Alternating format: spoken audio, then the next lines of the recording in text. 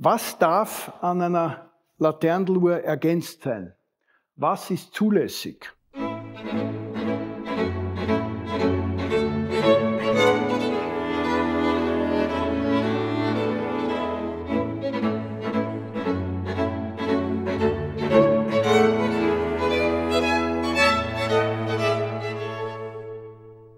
Ja, liebe Uhrenfreunde, grüß Gott, mein Name ist Stefan Andrewitsch, äh, Geschäftsführer des gleichnamigen Kunsthandels in Wien in der Stallburggasse, nur wenige Schritte vom Stephansplatz entfernt. Ich darf Ihnen heute eine klassische Laternenluhr mit einem Sekundenpendel äh, vorstellen, die zwei Besonderheiten aufweist. Das eine ist die Tatsache, dass sie drei Monate läuft. Sie verfügt über ein großes Bodenrad, ein übergroßes Bodenrad und ein äh, übergroßes Beisatzrad, verantwortlich für die lange Gangdauer.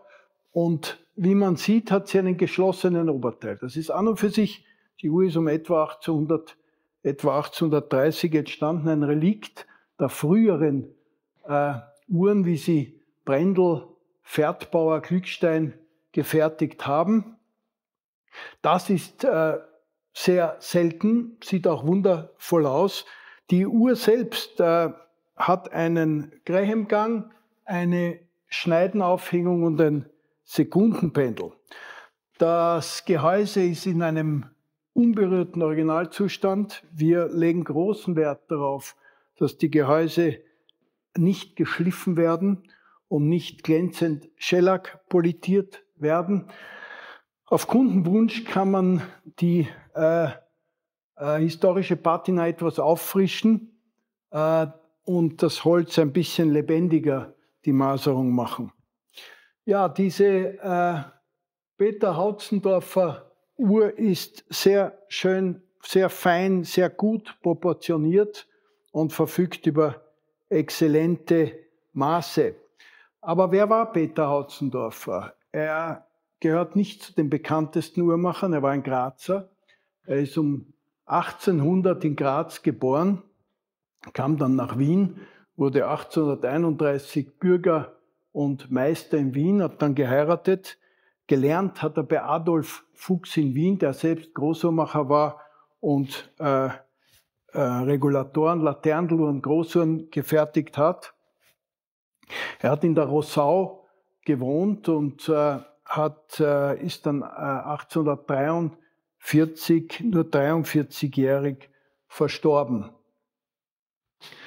Äh, diese Uhr ist, äh, hat auch zudem einen sehr schönen Flaschenzug, sehr ähm, kunstvoll ausgearbeitet, das kann man hier sehen.